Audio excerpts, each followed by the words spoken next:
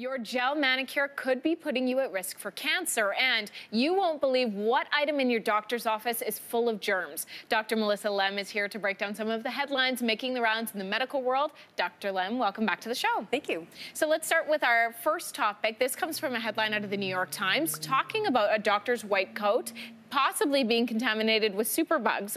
What should we be worried about here? Right. Well, this this story refers to a review of about 72 studies that showed to up to 16% of doctors' lab coats can be contaminated with a superbug called MRSA, and then up to 42% can have a bug called gram-negative rods that is associated with a lot of hospital-acquired infections. And the funny thing is, we doctors know that these coats are dirty, right? About 80% of doctors in a recent study also said we should be washing them weekly, but only 40% of them do, and only 40% of them wash them once a month, and 17% never. So we could be carrying around some pretty yucky stuff. That is so gross. So what should doctors and patients keep in mind? Right, well, doctors should be washing their lab coats preferably daily, and if not that, then weekly.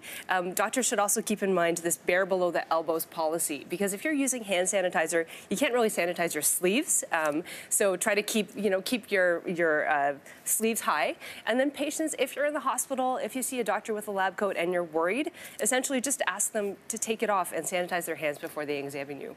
Our next topic is about skin cancer. When we think of skin cancer, we don't normally think of getting our nails done, but many women get manicures, and there's the UV lights that can cure the nail polish where should our concern be? Should we be worried? That's right. So, the, you know, there's a debate about that. But when we think about skin cancer, essentially we think about spots on your visible skin, but there's also skin under your nails. And up to 3.5% of melanomas can happen under your fingernails and under your toenails. So there have been some case report, reports in women, um, older women who frequently use these UV nail dryers, showing that, um, that they can have developed skin cancers on the backs of their hands.